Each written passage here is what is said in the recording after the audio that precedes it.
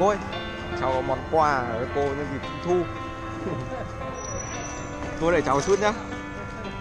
Mấy bữa rồi mà. Chắc cô ấy quen quen. Cháu tặng cô ạ. Đấy cháu có một cái bánh cả một cái chai nước. Ừ. Vâng, chúc cô một Trung Thu vui vẻ ạ.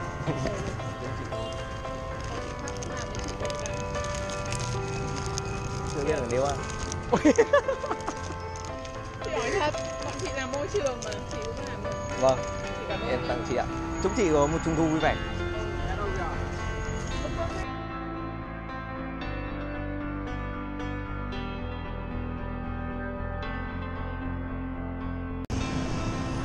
Cháu bác Ờ, Cháu có món quà tặng bác như ngày Trung Thu ạ. Giờ cảm ơn quá, quý quá, cháu nhá. Chúc cháu, à cháu,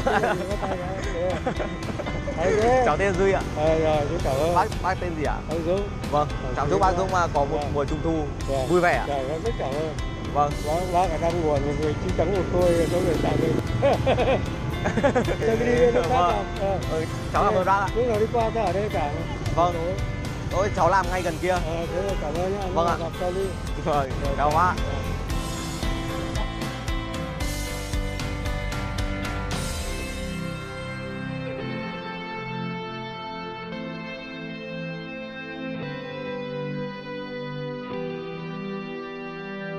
hát thì cô uống đi ạ.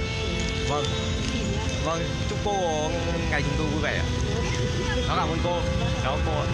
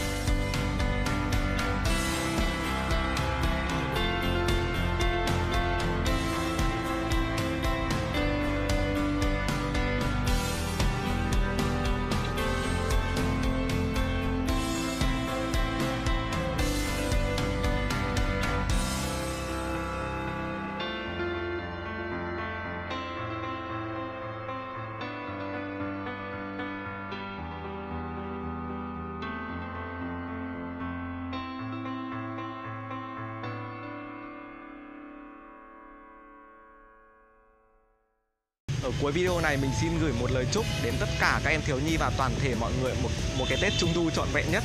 Và mình muốn gửi một thông điệp là vào những ngày này hãy tạm gác những công việc bận rộn lại và dành những giây phút quý báu cho người thân và gia đình.